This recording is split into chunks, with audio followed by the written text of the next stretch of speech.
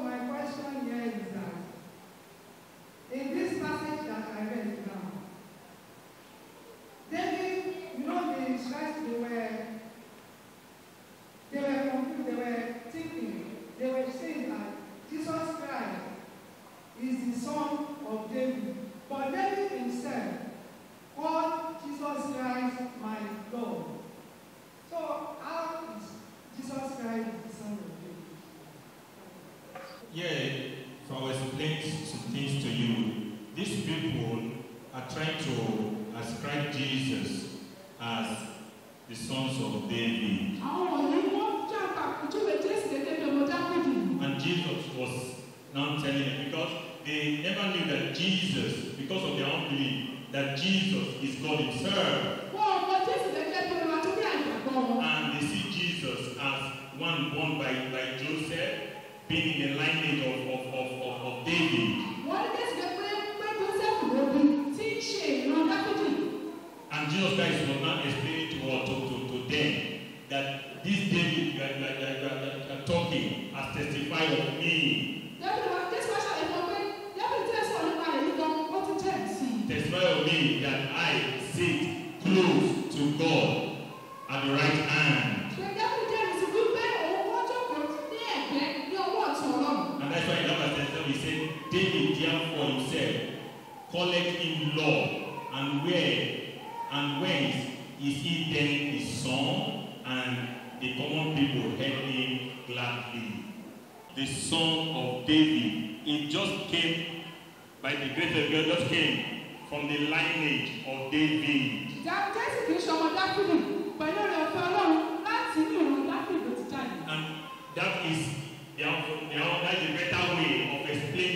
the root of Jesus.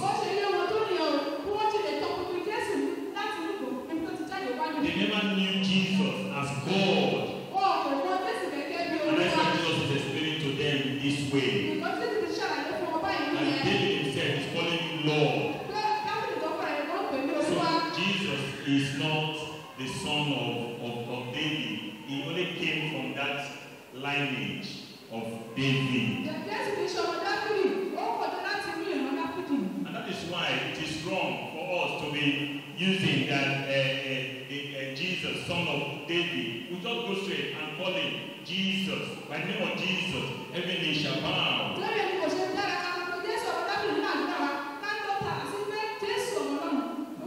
Not by any other name, but by the name of Jesus the only name of Jesus that you and I can be saved, we have mentioned it today. Mark chapter 16. Mark chapter 16. Ìwé start from verse 16 to verse 18. He that believe and is baptized shall be saved, but he that believe not, believeth not shall be damned. And this sign shall follow them that believe. In my name shall they cast out devils. They shall speak with new tongues. They shall take up serpents. And if they drink any deadly things, it shall not hurt them. They shall lay hands on the sick, and they shall recover. In the name of Jesus. Only by the name of Jesus the miracle will begin to happen. And we say also. And when they say, he that believes, baptized. He that believes in the name of Jesus and is baptized. That's what they're saying there. So it is the Joshua uh, is telling them that it's not from the it's not uh, it's not the son of David, it's just from the lineage of David, and David himself confirmed it.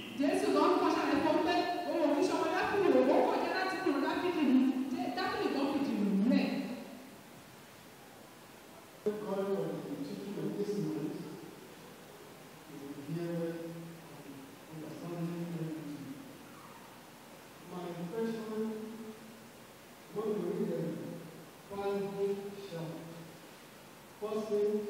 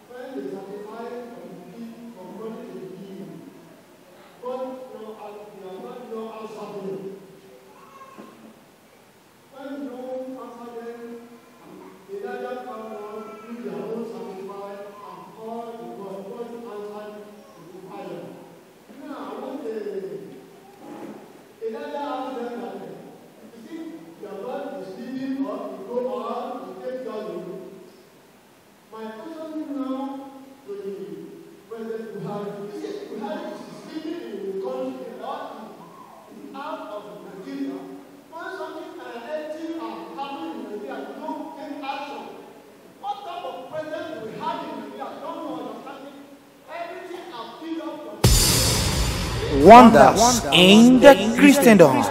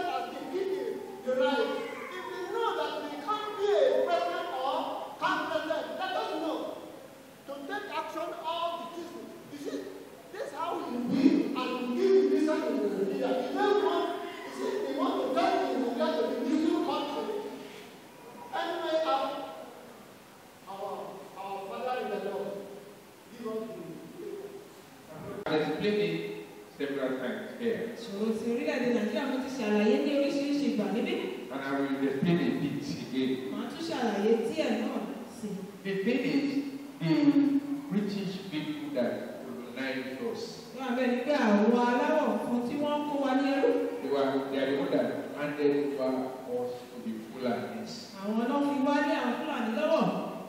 now they are the one teaching them.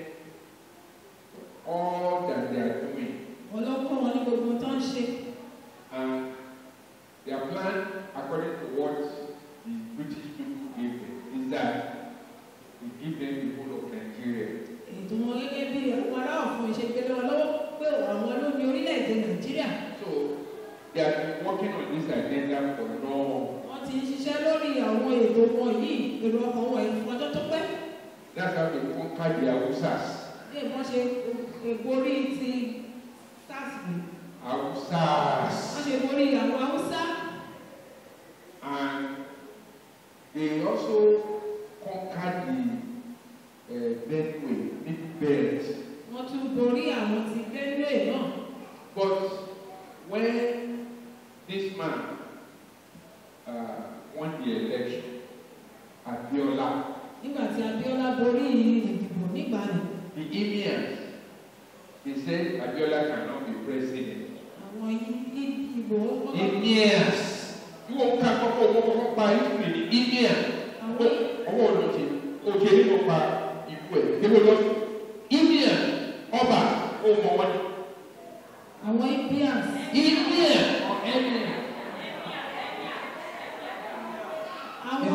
Abraham of India. Àwọn ọba wọn lọ fún wọn ní fi àyè gbà. The the Emir eh, or Emir that the Emir in the north.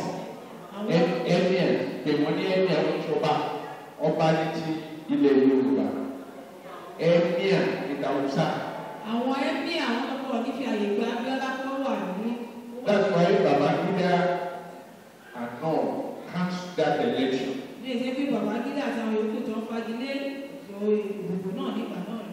that's when yorùbá people refuse. àyè àwọn yorùbá tó kọ̀. that nobody from the north or anywhere can ever be president in Nigeria anymore. pé kò sí ẹnìkan láti lọ ọgbọ̀n òun láti tó máa di olórí orílẹ̀-èdè nàìjíríà mọ́. and you know yorùbá people were meant it. wọ́n dẹ̀ mọ̀ pé àwọn ti yorùbá yìí olókùnkúndùn. some of you may not know we have the agbe choir in Yoruba land even if you are a soldier whoever you are shoot us we have the true power your gun cannot enter us in Yoruba land they know. nínú ilé ìmọ̀ àwọn àwọn ọwọ́ àṣẹ́gbẹ́ àgbẹ̀kọ̀ ẹ̀ ni wọ́n jẹ́ pé wọ́n ní oògùn tó bá kú ìbọn fún ọkọ̀ kò ní wọlé. so you know when we say nobody can be president in this country except your mama. That's why they now say, okay, what are we going to do? They gave it to this man called Obasanjo because he was a soldier like Babangida and the rest of them. They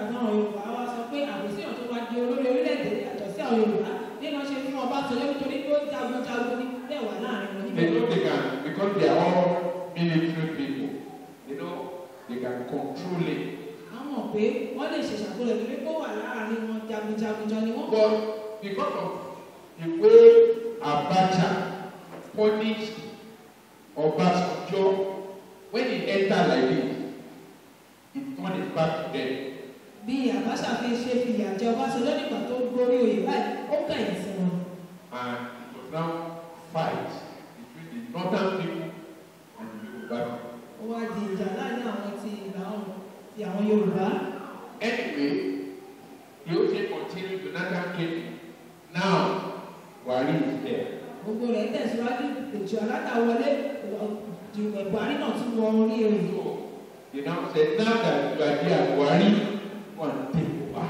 wọ́n ní sí ti wọ Buhari tí ó ti wà níbẹ̀ lọ́gbà ìṣàkóso. take over from middle bay down to our ocean here. That's Ukraine láti àtàjẹ. Mo gba ìṣàkóso láti bínú rẹ̀ lọ sí òkú bíi òkú níbi bíbá yìí. Yorùbá wọn rèé. They don't know that Yorùbá people and the South South people and Igbo people they won't take it kindly the way they deal with middle bed and the middle bed they are cut off from them.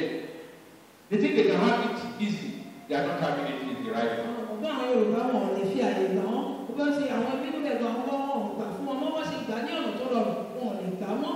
so middle bed yorùbá igbo gba all join hand together now fight the fulani. àwọn middle bed yorùbá àti àwọn ọmọ ti sọ wọ́pọ̀ nísìn láti dojú ìjà kọ àwọn àwọn fúlàní. and the this fulani people one of the things this buhari did was to open nigeria that any people from anywhere can come to Nigeria, and when you get to Nigeria, you will get your passport. That's why they are see children, they are many. Before, children may not know this, but adults know this. Fulani, in the Nigerian society, wonders in the Christendom. Christendom.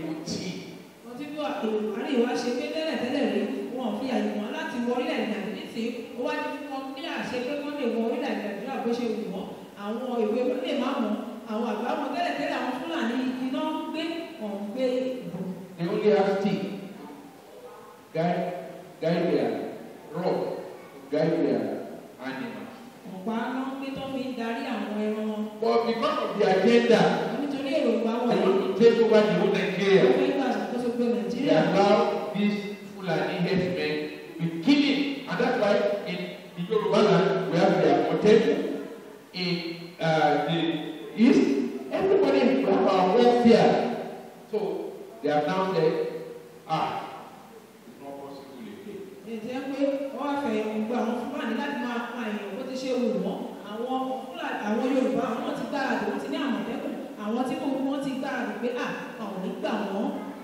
This road that Buhari is doing now, if he had started from when he took over, the road is not doing now, he would have known better. But because their agenda is bring Fulani Islamize Nigeria, that's why what they are doing now is late and they have caused more havoc, more problem. tí Buhari ń ṣe é ṣe yẹ ti ṣe tẹ́lẹ̀ rí torí pé tẹ́lẹ̀ tẹ́lẹ̀ Yorùbá wọn ni pé wọ́n mú àwọn Fúlàní wá sí orílẹ̀-èdè tó máa òun tí ò ṣẹlẹ̀ kan sọ orílẹ̀-èdè nàìjíríà ti mùsùlùmí gbogbo tó ń ṣe yìí ó ti di ó ti pẹ́. the truth as you know you are praying you know in this church we are praying. tọ́ba lè ṣe mọ̀ àgbàgbà nínú ìjọba níbí. and God has answered our prayer. ọlọ́run ti dá àdúrà wa. he will go because.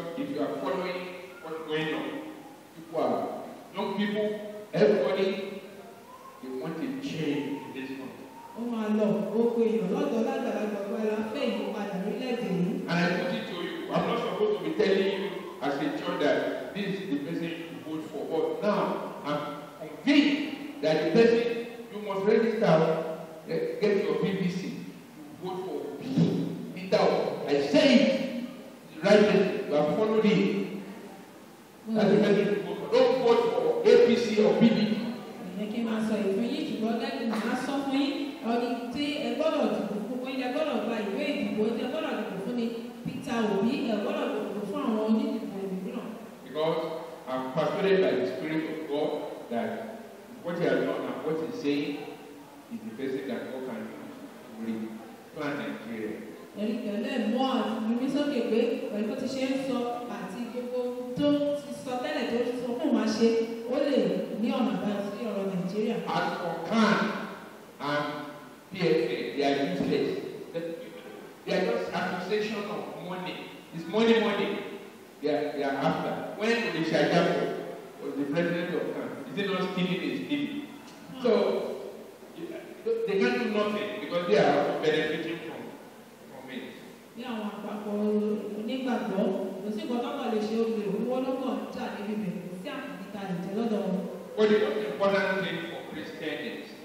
padà fún kìrìsìtẹ́nì ni pé.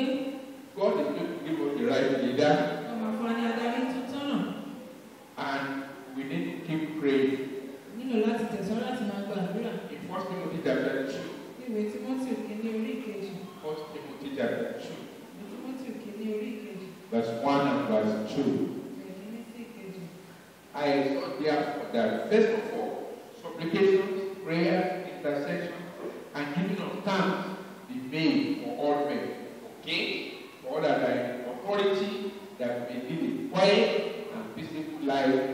Godliness and honesty.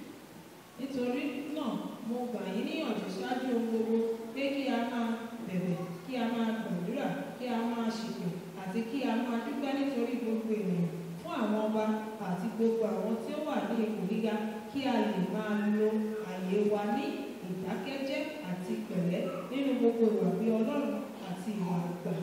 So we keep praying. Let's pray.